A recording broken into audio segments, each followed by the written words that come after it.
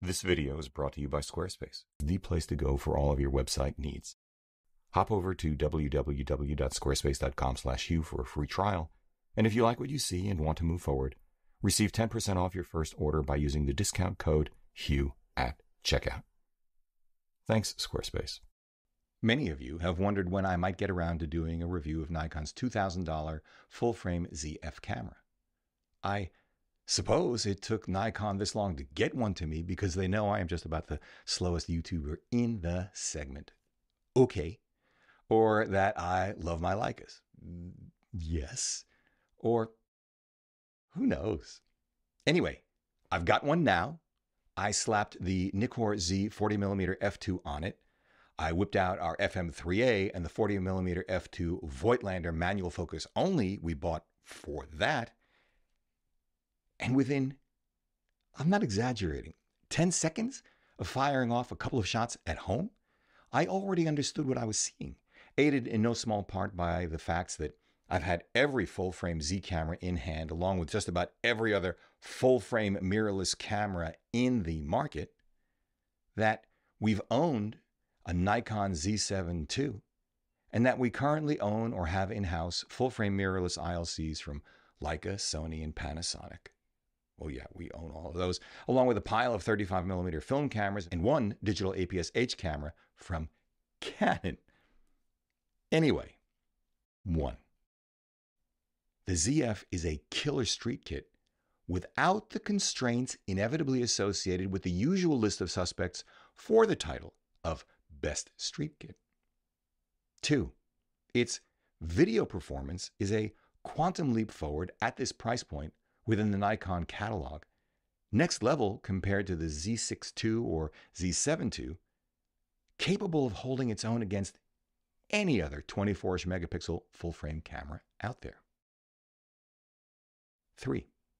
Its autofocus performance, stills, and video is also next level compared to the Z6 II and Z7 II, lifted close, if perhaps not completely whole cloth, from the Z8 and 9, which makes it, in my book, as good or better than Canon, just about on par with the best from Sony.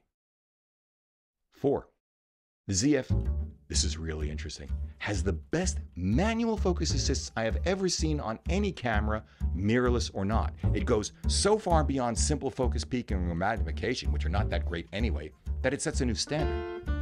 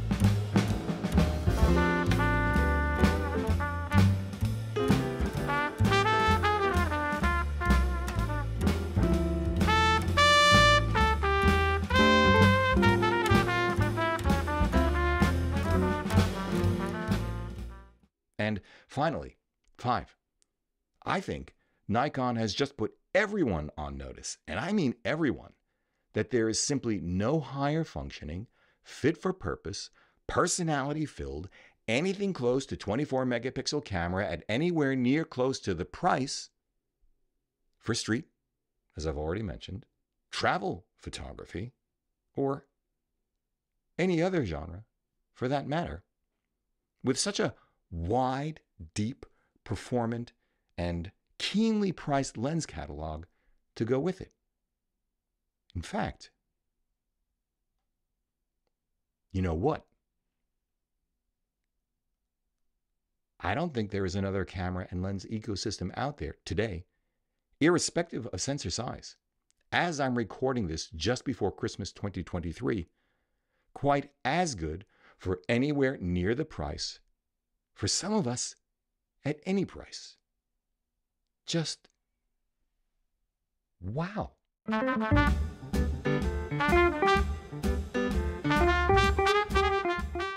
Hey everybody, I'm Hugh Brownstone for Three Blind Men and an Elephant. I'm getting a little bit loopy, and I will be exceptionally brief for this first take on the ZF because A, I just told you what it is I think I'm seeing in the ZF. B, I received it too close to year end to do my usual real world shooting out on the streets of New York, which I most definitely will do in a future video. And C, Three months after its announcement, most of you watching this will, in all likelihood, have already seen a pile of other videos, many of them really excellent when it was launched, and you already know quite a bit about it. So, I will try to add value by putting it this way. First, this is a brilliant homage to second half 20th century film cameras that goes beyond looks and controls to size, weight, and feel in hand. Second, the autofocus is dead silent, quick and sure, more Z8 Z9 than Z6 II or Z7 II. That down to minus 10 EV for autofocus is no joke. I have never seen autofocus this good in light, that low, with the possible exception of the Z8 or Z9 or our Sony a7R5. Maybe. Third, the way the ZF handles manual focus lenses is revelatory. Focus confirmation for manual focus lenses is seamlessly integrated into the autofocus UI so that subject detection, even eye detection, even on our F mount Voigtlander Ultron 40 F2 with dumb adapter, as opposed to, say, Voigtlander's Apo Lanthar 35 F2 in native Z mount with usable electronic contacts, because the adapter that I have doesn't have that, is fabulous. So, Leica, pay attention. Fourth, the performances of the 40F2Z and the camera's IBIS are so good, which is to say, excellent for 99% of us, 99% of the time, that one can truly take advantage of that low light AF capability. So, kudos, Nikon. Rarely have I seen a camera which can deliver so completely on what I'll call a single pinnacle spec because most manufacturers do not fully take into consideration what else has to happen, what else has to be good for that spec to have any meaning in real life. Nikon clearly has. Fifth, The rest of the camera's operation is whip fast with not only real time exposure preview, but depth of field preview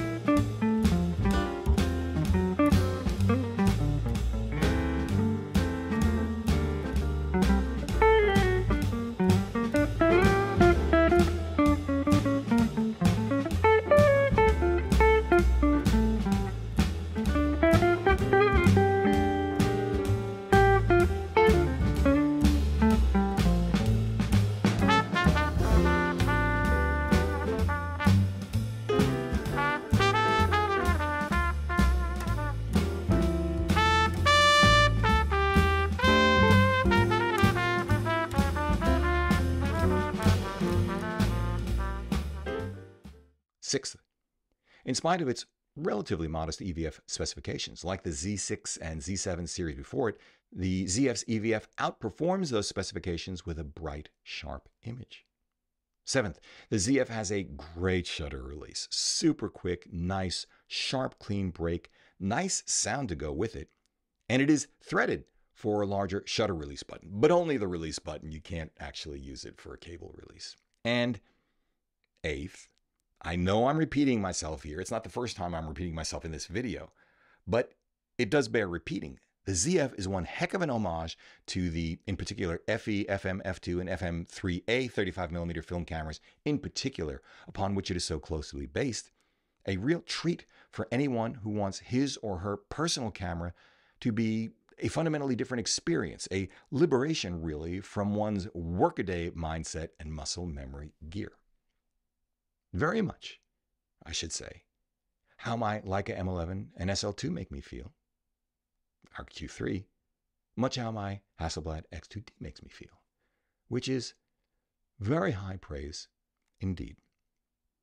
The differences among these cameras and the ZF, however, beyond differences in resolution, heritage, industrial design, menu system, color science, and ultimate build quality, all accruing to the benefit of Leica and Hasselblad gear, and price, accruing obviously to the benefit of the ZF, are that A. The ZF is dramatically better at shortening the distance between intent and execution by dint of superior functionality and lens catalog, at least in terms of breadth, depth, and value, and blows them away on a dollar for dollar size, weight, and performance basis. I just said that out loud. With all of this said, however, like everything else, it isn't perfect. In particular, many people, for example, will likely prefer the Okoron PASM dial design of mirrorless ILCs to the retro dials of the ZF. Okay. Still, Fujifilm, especially, beware. On balance, and taking into account Nikon's Z mount lens ecosystem, I'll tell you that the ZF out Fujifilms the entire Fujifilm X system. I just said that out loud too. But do I like the little 1980s Casio calculator f stop window in the top plate?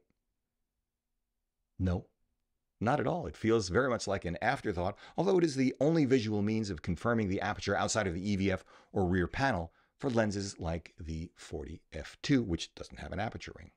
I'd much prefer confirmation of the aperture on the lens itself. Does this really matter in any case? No, it doesn't. Do I like the grip? No, but I understand the rationale for going this route. It is both an homage to the past and a recognition of the present, a compromise between actual mid 20th century ergos and modern sensibilities. I shoot with the Leica M11 and Q3, and they have no integrated grip very much in keeping with a retro vibe.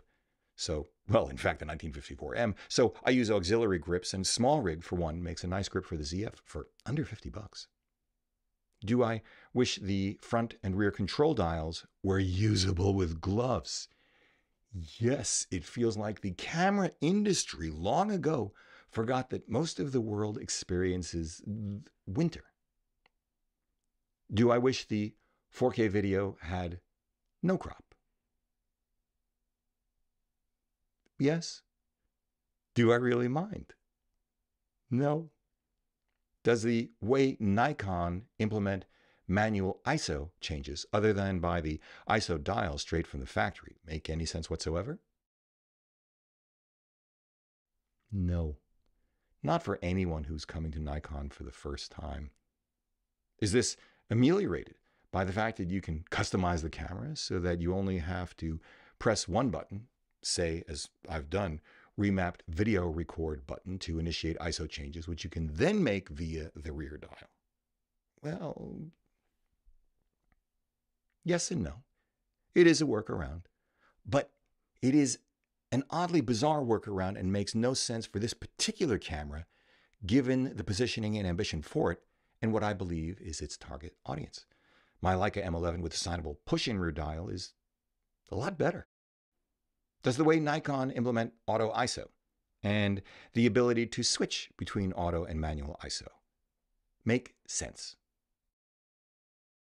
No, it doesn't. But do they explain it in the manual? However many hundred pages. Yes, they explain it. Does the fact that they explain it in the manual make up for it? No, it doesn't. For something as basic as the exposure triangle to be so counterintuitive, especially for someone coming from any other system, in particular smartphones. In other words, new customers from a generation that largely grew up without Nikon cameras altogether, this is a miss. But is it a deal breaker? No. Moving on. Do I wish the 40mm f2 had an aperture ring? Yes. Does it matter all that much? No. Would I like the little LCD on the body, which shows aperture to be moved to the lens? Yes, I already told you that. Does this really matter? No. Is the 40mm f2 as sharp as Nikon's incredible 51.8S? I did a whole review on that. I'll put that link down below. No. Does it matter? No. This 40 f2 is light, compact, fast, silent to autofocus, and far superior optically to most 51.8s on the market. Brilliantly fit for purpose, I think, for its intended audience. I like it. Does it make sense to me? Let's move to something else. That the stills movie collar below the shutter speed dial is the same control for getting to what is, in essence, a black and white LUT. No, it should be an option independent of a stills or video switch because it is a fundamentally different thing. But does this matter to most people? No. I'm feeling more and more like the statistical outlier I usually am. But would it actually matter much to me? No. Would I actually prefer, given that for my purposes, were I to own a ZF, it would be a stills centric camera, that the rear panel be a tilty screen rather than a flippy screen? Why, yes. Yes, I would.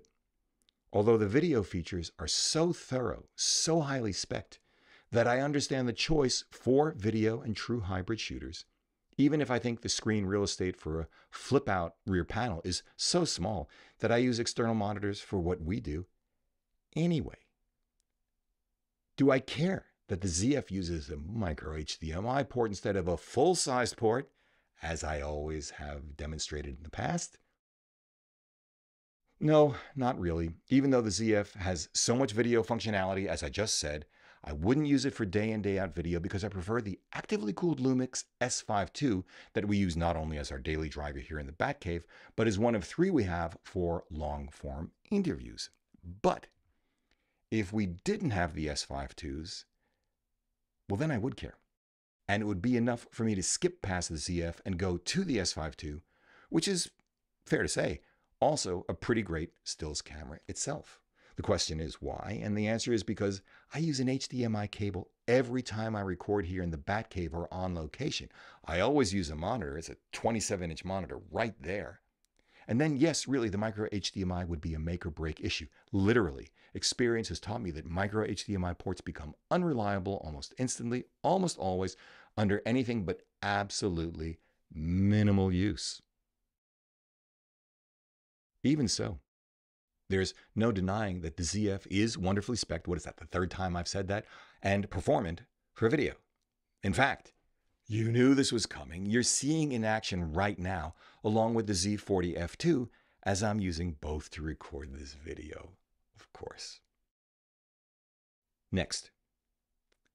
Do I care? Hey, listen, I'm even getting tired of all these what's if, but I'm trying to give you a full view of what the camera is. Do I care that the ZF uses an SD card and a micro SD card?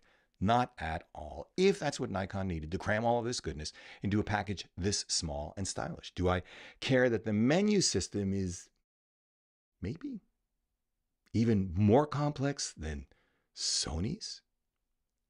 To my astonishment, no, I don't really care. I, of course, wish the menu system were simpler, but the reality, I think, is this there is better reason for the Nikon menu to be so complex. And that, I think, comes down to just how successfully tunable Nikon has made the autofocus system. I still haven't figured out how to use all of it, but on the basis of manual focus alone, I dig it. Finally, as someone who has consistently advocated for sensor resolution over longer lenses, do I wish the ZF had a higher megapixel count? Absolutely. Just not at the expense of anything else. Put differently, this camera at this price, with this functionality at this megapixel count, with access to both Nikon's superb Z lens catalog and to vintage lenses, more in keeping with the camera's aesthetic, along with the, hey guys, I just got to say once again, brilliant focus assists for them, is as close to perfection for its intended purpose as any new camera I've seen over the last half decade. I'll wrap it up this way for now. I don't think I've ever reviewed a camera without bothering to share photographs I've taken with it. But in this case, having shot with every full frame Z camera and having significant experience with our own Nikon Z7 II and a number of modern Z lenses and manual focus or older autofocus Nikon lenses, and given that a week and a half later I'm still recovering from jet lag after returning from Tokyo and just didn't have the time in the waning days of 2023 to give it a proper go on the streets of New York.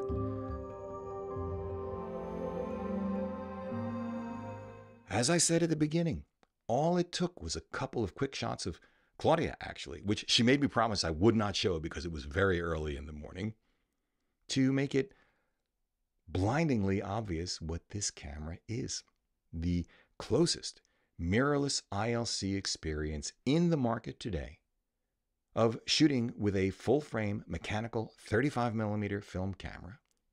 These days, closest to the 24 megapixel full frame Leica M10, even a 61 megapixel M11 actually, except for this.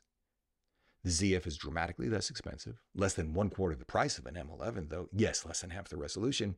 Yet the ZF makes it dramatically easier to capture a far higher proportion of keepers because Nikon has managed to uniquely combine retro styling and solid feel in hand with all of the mod cons from uber performant autofocus and IBIS to essentially unlimited recording 4K and the best manual focus assists, say it with me now, I have ever seen. And beyond the 40mm f2Z, perfectly suited as the kit lens for it, uber performant, accessibly priced lenses like their entire line of 1.S primes on the one hand, they're less accessibly priced, yet brilliant super telephotos for which Leica has no answer on the other, in a small, unobtrusive package done in a way that Leica and Fujifilm, in fact, every other manufacturer for that matter, have not, which is quite an extraordinary thing for me to say.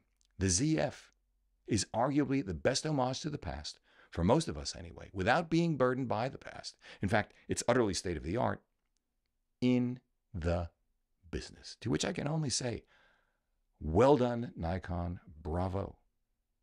You are going to have a pile of new ZF shooters. Yeah, that's it. This video is brought to you by Squarespace. From custom domains to beautiful websites using their easily customizable templates that you can have up and running in minutes, e commerce, email and email marketing, SEO, analytics, and scheduling, Squarespace does it all and has done it for us for the last six years. If you are a small to mid sized business in any industry, Squarespace is the place to go for all of your website needs. Hop over to www.squarespace.com/hugh for a free trial, and if you like what you see and want to move forward, receive 10% off your first order by using the discount code HUGH at checkout. Thanks, Squarespace.